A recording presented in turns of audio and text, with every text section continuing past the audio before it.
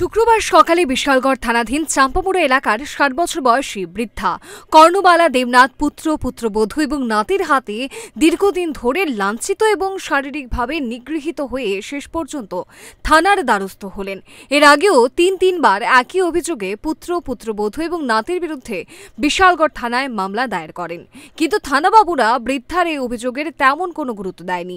অবশেষে শুক্রবারও তিনি থানায় এসে একই অভিযোগ দায়ের করেন পুত্র পুত্রবধূ এবং নাতির বিরুদ্ধে। এদিন বিশালগড় থানায় অভিযোগ জানাতে এসে একরাশ ক্ষোভ উগড়ে দেন পরিবারের লোকজনদের বিরুদ্ধে বৃদ্ধা মা।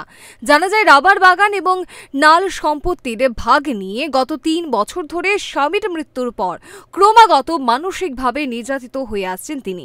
এজন্য এক বছর বাড়ি ছেড়ে মেয়ের বাড়িতে আশ্রয় নিয়েছিলেন।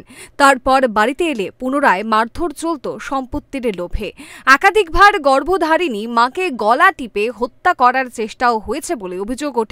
পরিবারের সদস্যদের বিরুদ্ধে। বিশালগড় থানায় অভিযোগ জানানোর পর অভিযুক্তদের বিরুদ্ধে কোন রকম ব্যবস্থা নিচ্ছে না পুলিশ। শুক্রবার দুপুরে বিশালগড় থানায় এসে বৃদ্ধা থানাবাবুদের আচরণে তাদের উপর বিশ্বাস হারিয়ে মুখ্যমন্ত্রীর সাহায্য প্রার্থনা করেন আজকে আইসি আমার ছেলে মারধর করে। এলে তিনবার আমি কেস দিছি, বুঝলি? তারপরে দিছি পরে কোনো কিছু কেস হয় না। কেসটা তুলালা মানুষ যা। থানার দেখা যা তুলালা তার বন্ধু বান্ধব যা কেসটা তুলালা তারপরে আবার তুই আমার মারধর করে তারপরে আমি ওই দিন কেস দিছি গেছে না এরপর দুই দিন পরে আইসি পরে আমার লোকে তারা দুবার সময় তো দুবার সময় গিয়ে পাইছে না দুবার সময় তা পাইছে না তারা তো বুঝিয়ে ইয়া করছে। তারপর আর তারা তারপর প্রধান তো ইয়া করছে ফোন করছে আমার আমি নাম্বারটা তো থানা দিছে প্রধান ফোন করে তার ষাট হাজার পুলিশ গেছিল আর পুলিশ গেছিল তারা কুটে ফাটাই দিছে। আপনারা পুলিশ গেছিল নি আপনার বাড়িতে? গেছে একদিন। তারপর আর আর আপনার ছেলে আপনারা আর কিছু কইছে নি আর ওই তো কইলাম না সব বহাবিদ্য করে। আবার আবার বউ এই ডেলি সমস্ত বহাবিদ্য করে। আর বউটার মুখটা তো আরও খারাপ বুঝলি?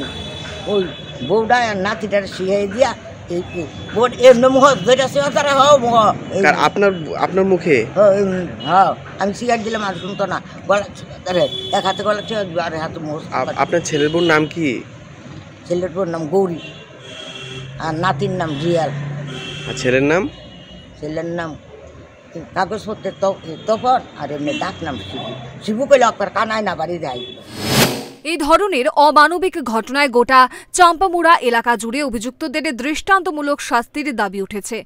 আক্রান্ত বৃদ্ধা মা দাবি করছেন আইন অভিযুক্তদের এমন শাস্তির ব্যবস্থা করুক যাতে করে এই সভ্য সমাজ আর যাতে কলঙ্কিত না হয় এবং আর কোনো বৃদ্ধা মা, বাবা যেন তার সন্তানের মার খেতে না হয়। সব পুলিশ খারাপ, এমন নয় ঘটনা। তবে পুলিশের একটা অংশ চেষ্টা করছে সরকারের বদনাম করতে এবং ফাঁকে অতিরিক্ত টু পাইস কামিয়ে নিতে।